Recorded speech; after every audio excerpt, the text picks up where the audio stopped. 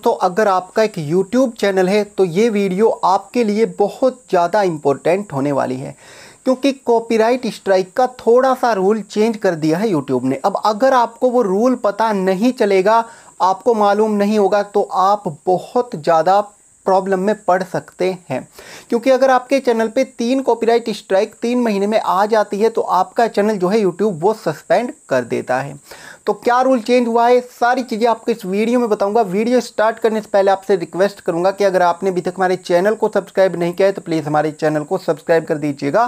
कोई भी आपका क्वेश्चन हो इंस्टाग्राम आईडी पर आप पूछ सकते हैं और अगर आपको हमारी वीडियो पसंद आती है तो वीडियो को लाइक करना बिल्कुल भी ना भूलें।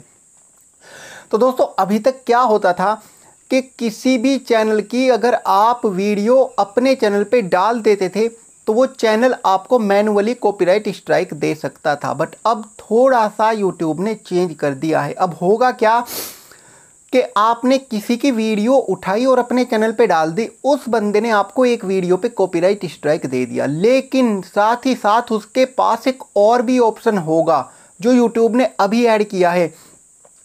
और जब वो उस ऑप्शन को ऑन कर देगा तो आप भविष्य में कभी भी उस चैनल की अगर वीडियो उठा के अपने चैनल पे अपलोड करेंगे तो YouTube आपको ऑटोमेटिकली कॉपीराइट स्ट्राइक दे देगा। जी हाँ इस चीज़ का ध्यान रखें।